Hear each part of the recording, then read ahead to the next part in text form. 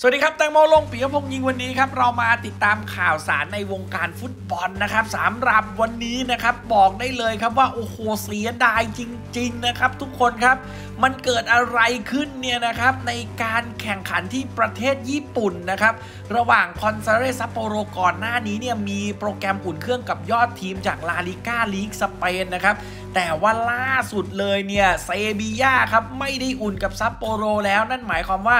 เราจะไม่ได้เห็นสุปโชคสารชาติลงดวลกับทีมจากลาลิก้าลีกสเปนแน่นอน เพราะมันยกเลิกไปแล้วนะครับอ่าเดี๋ยวเรามาเช็คเรื่องนี้กันนะครับในขณะเดียวกันสุปโชคสารชาติเมื่อไหร่จะหายเจ็บ นะครับ แล้วจะกลับมาช่วยทีมชาติไทย แล้วก็ซัปโปโรได้ทั้งหมดนี้ติดตามไว้ในแต่งโมลงปียพงยิงนะครับอะแต่ก่อนอื่นเลยอย่าลืมนะครับ ติดตามทุกข่าวสารจะได้ไม่พลาดทุกคลิปความเคลื่อนไหวนะครับ โดยการกดไลค์กดแชร์กด Subscribe กดกระดิ่งแจ้งเตือนจะได้ไม่พลาดทุกคลิปความเคลื่อนไหวนั่นเองนะครับ อย่างที่บอกไปนะครับว่าเกมระหว่างคอนซาโดเรซัปโปโรเนี่ย อุ่นเครื่องกับเซบีย่านะครับ มันถูกยกเลิกไปเรียบร้อยแล้วเนี่ยในวันที่ 30 กรกฎาคมนี้ ซึ่งตอนแรกเนี่ยนะครับก็จะเป็นเกมนะ ที่เขาจะใช้นักเตะเนี่ยนะครับทุกคนเนี่ยหมุนเวียนกันลงสนามอยู่แล้ว และก็จะใช้เป็นเกมที่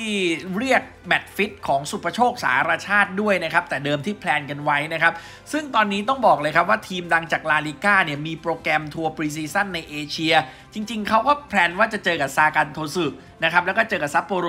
นะครับซึ่งฝ่ายจัดการแข่งขันเนี่ยไม่น่าเชื่อนะเขาขายบัตรกันไปแล้วนะครับ อย่างไรก็ตามนานๆถึงจะได้เห็นทีนะ ญี่ปุ่นมีการยกเลิกนะครับ ไม่รู้ว่าด้วยเหตุผลกลใดแต่มันยกเลิก NSN Organization เนี่ยครับจัดการแข่งขันคราวนี้ตัดสินใจ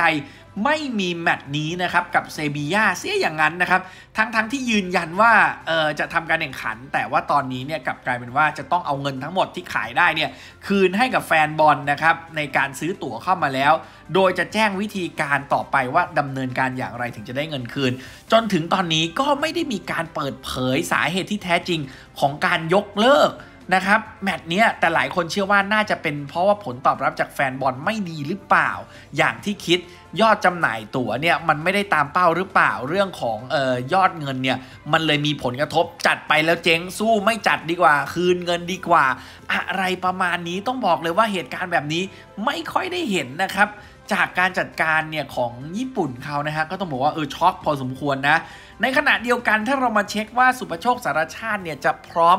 comeback นะครับในการลงสนามให้กับซัปโปโรเมื่อไหร่เนี่ยซึ่งก็ต้องบอกเลยนะครับว่ามันคงจะต้องใช้เวลาอีกสักพักนะครับ เพราะว่าเนื่องจากอาการบาดเจ็บเนี่ยมันยังติดตัวอยู่นะคะแต่ที่แน่ ๆ แหละ โปรแกรมแข่งขันของซัปโปโรเนี่ยจะไปแข่งอีกทีนะครับในศึกเจลีก นู่นเลยนะครับ วันที่ 7 สิงหาเจอกับโยโกฮามาเอฟมารินอสนะครับ ซึ่งมันอีกนานเหมือนกันนะครับ ถึงแม้ว่าจะหายแล้วมันก็เพียงจะเรียกได้แค่ match fit เท่านั้นเองนะครับสำหรับสุประโชคสารชาติเนี่ยนะครับ ซึ่งก็มาอัปเดตตอนนี้กลับมาเมืองไทยนะครับ ก็มากิจกรรมของสโมสรเนี่ยนะครับเขาให้สัมภาษณ์ว่า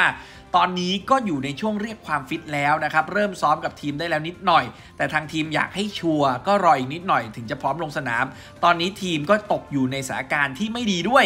นะครับ อยู่ในอันดับ 20 อันดับสุดท้ายของตารางอะครับนะฮะ เล่นไป 24 เกมนะครับ ลูกได้เสียลบ 26 มีแค่ 15 แต้ม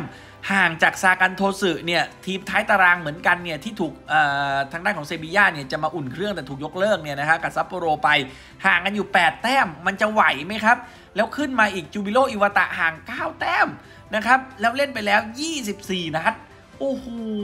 ตอนนี้ก็ต้องบอกว่าสถานการณ์ไม่ดีแล้วสุภโชคก็ยังบอกด้วยว่ามันช่วยอะไรไม่ได้อะตอนนี้พยายามรักษาสภาพร่างกายของตัวเองให้กลับมาฟิตสมบูรณ์ช่วยทีมให้เร็วที่สุดนะฮะแล้วก็พยายามอย่างยิ่ง ส่วนในนามทีมชาติก็ลั่นเลยนะว่า จะ comeback เดือนกันยายังไงหายแน่นะครับ FIFA Day เดือนกันยาแต่ผมว่าสงสัยนิดนึงนะว่าถ้าเล่นเจลีกไม่ได้แล้วมาเล่นทีมชาติแล้วเจ็บอีกเนี่ยงานงอกนะครับทุกคนนะฮะ แต่เจ้าตัวก็ลั่นนะว่าพร้อมจะช่วยทีมชาติอยู่แล้ว ถ้าไม่มีอาการบาดเจ็บนะฮะสุวรรณโชคก็ยิ้มยิ้มแหละครับถ้าเจ็บรอบนี้ไปซัปโปโรเดือดแน่ดูแล้ว อย่างที่หลายคนทราบนะครับว่าซัปโปโรอยู่ในโซนตกชั้นนะครับและก็พยายามทำงานอย่างหนักช่วยเหลือกันเต็มที่เก็บแต้มให้ได้ทุกเกม เพื่อให้ทีมพ้นจากพื้นที่อันตรายให้ได้สุประโชคว่าอย่างนี้ ส่วนในช่วงที่ได้รับบาดเจ็บตอนนี้เนี่ยเขาก็ได้ไปดูเกมของซัปโปโรปกตินะฮะ ดูการเล่นของทีมแม้จะทำอะไรไม่ได้ แต่ก็พยายามศึกษาการเล่นของเพื่อน พอได้รับโอกาสก็จะได้สามารถเล่นได้ทันทีตามที่ต้องการนั่นเองนะครับ สุประโชคสารชาติก็ว่าแบบนี้นะครับ ทั้งนี้สถานการณ์อย่างที่ผมบอกไปเลยครับ ค่อนข้างแย่นะครับ ซึ่งถ้าหากว่าจะหนีรอดตกชั้นเนี่ยตอนนี้โซนปลอดภัยเนี่ยห่างอยู่ประมาณ 10 คะแนนนั่นเองนะครับ ในขณะเดียวกันนะครับเรามาติดตามดราม่าของฟุตบอลเวียดนามนะครับไม่สนใจโลกแล้วครับเอเชียไม่เอาเอาอาเซียนดีกว่า อันนี้ก็เพิ่งเคยเห็นเหมือนกันนะครับว่า เออมันก็แปลกดีนะครับ เพราะว่าเหตุผลในการทำแบบนี้เนี่ยเขาก็ชี้แจงมานะ แต่ว่าเรื่องราวกับคอมเมนต์เดือดๆเนี่ยนะฮะที่แฟนๆ เข้าไปตอบเนี่ยมันก็หนักหนาสาหัสอยู่เหมือนกันนะครับนั่นคือเรื่องของโปรแกรมการแข่งขันของฟุตบอลเวียดนามก็ไม่รู้ว่าคิดอะไร เอาอะไรคิดนะครับ ถอนเอเชียแล้วไปเล่นอาเซียน เออ เข้าใจได้นะครับ นั่นก็คือทันฮาวแชมป์บอลถ้วย เวียดนามขอถอนตัวศึก ACL 2 นะครับทันฮาว FC ครับ ทีมดังแห่งลีกเวียดนามเนี่ยนะครับ ขอถอนตัวจากการแข่งขัน FC Champions League 2 เลยนะ เออ ในรูปการ 2024-2025 และทางสมาพันธ์ฟุตบอลแห่งเอเชียเขาก็ตอบรับเลย เออ อยากถอนก็ถอน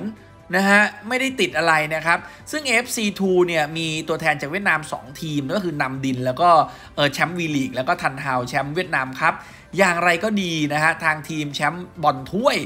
ถอนได้อย่างนั้นนะฮะ ได้ไปบอลเอเชียไม่ไปนะครับ แล้วก็ด้วยเหตุผลบอกว่าโปรแกรมมันเยอะ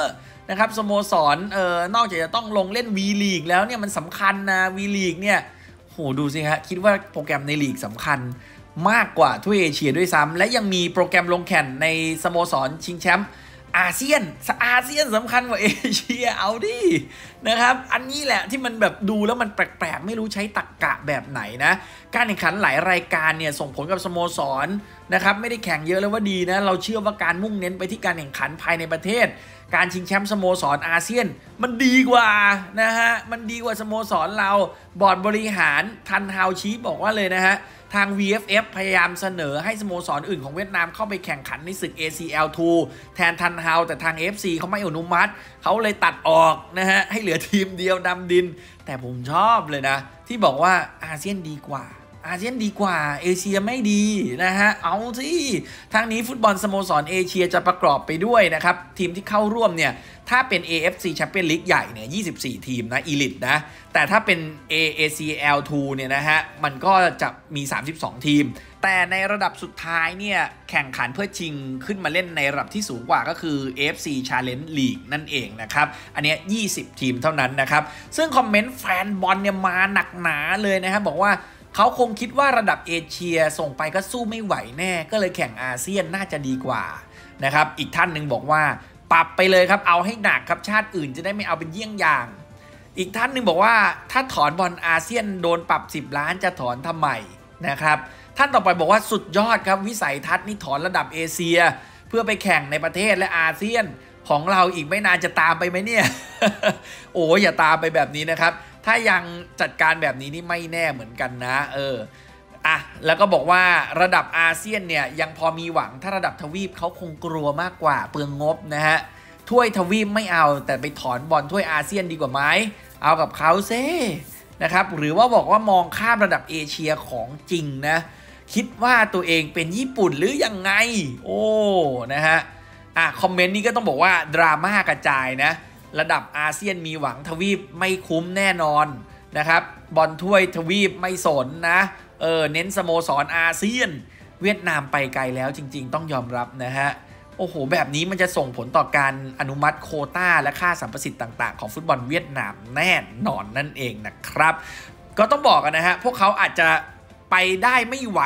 ก็เลยมีมุมมองว่าเอเชียเนี่ยขอยกเลิก แล้วมาเตะอาเซียนอย่างเดียวนั่นเองนะครับอะนี่ก็คือเรื่องราวทั้งหมดทั้งมวลก็แปลกดีนะครับ แต่ว่าถ้าอยากจะติดตามข่าวสารบอกได้เลยครับว่าห้ามพลาดนะครับ โดยการกดไลค์กดแชร์กด Subscribe กดกระดิ่งแจ้งเตือน เราจะนำข่าวสารดีๆ มาฝากทุกท่านเช่นเคยนะครับสำหรับวันนี้ลาไปก่อนสวัสดีครับแตงโมขายบ้านทาวน์พลัสเกษตรนวมินทร์ 3 ชั้น 3 ห้องนอน 3 ห้องน้ำ 2 ที่จอดรถแอร์และ built-in เฟอร์นิเจอร์ฟรีทั้งหลังแถมฟรีโซลาร์เซลล์ประหยัดไฟ 40-50% 50%ต่อเดือนสนใจติดต่อ at tm score โทร 0959455635 ครับ